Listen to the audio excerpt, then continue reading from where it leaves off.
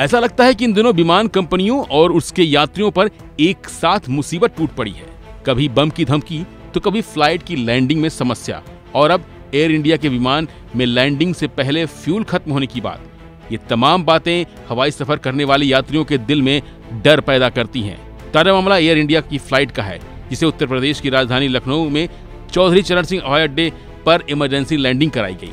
इससे पहले विमान दो बार कोशिश करने के बाद भी रनवे पर उतर नहीं सका। ऐसे में इस विमान की इमरजेंसी लैंडिंग कराई गई। इस दौरान विमान में 200 यात्री सवार थे। बताया जा रहा है कि विमान का ईंधन खत्म होने वाला था। दरअसल दो बार लैंडिंग की कोशिश असफल रहने पर वाराणसी डाइवर्ट करने की मांग की गई। लेकिन फ्यूल खत्म होने की वजह से ऐसा करने की इजाज़त नहीं मिल सकी। इसके बाद विमान को लखनऊ हवाई अड्डे पर उतारा गया।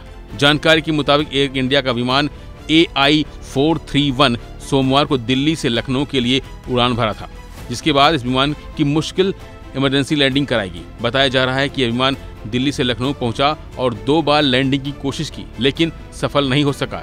इसके बाद वाराणसी डाइवर्ट करने की बात कही गई, लेकिन जब फ्यूल के बारे में जानकारी ली गई तो यह बात सामने आई कि विमान में वाराणसी पहुँच नहीं पाएगा।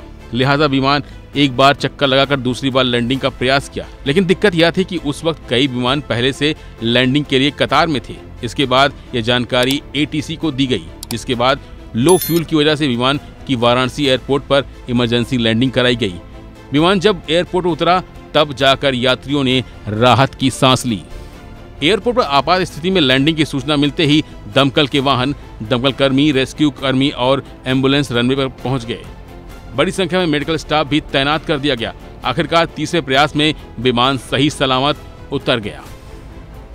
वहीं दूसरी तरफ़ बेंगलुरु से लखनऊ आ रहे इंडिगो के विमान 6E196 में बम की सूचना ने एक बार फिर यात्रियों को परेशान कर दिया। इस विमान ने बेंगलुरु से एक बजे उड़ान भरी और लखनऊ में दोपहर तीन बजकर तीस मिनट पर लैंड किया।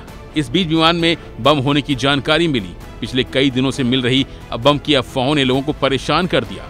सूत्रों के मुताबिक विमान को लखनऊ में लैंडिंग के बाद आइसोलेशन वे पर ले जाया गया और सीआईएसएफ ने पूरे विमान की जाँच की। हालाँकि एक बार फिर ये अफवाह ही निकली। लेकिन पिछले दिनों कई बार इस तरह की अफवाह मिलने से लोगों में दहशत का माहौल है।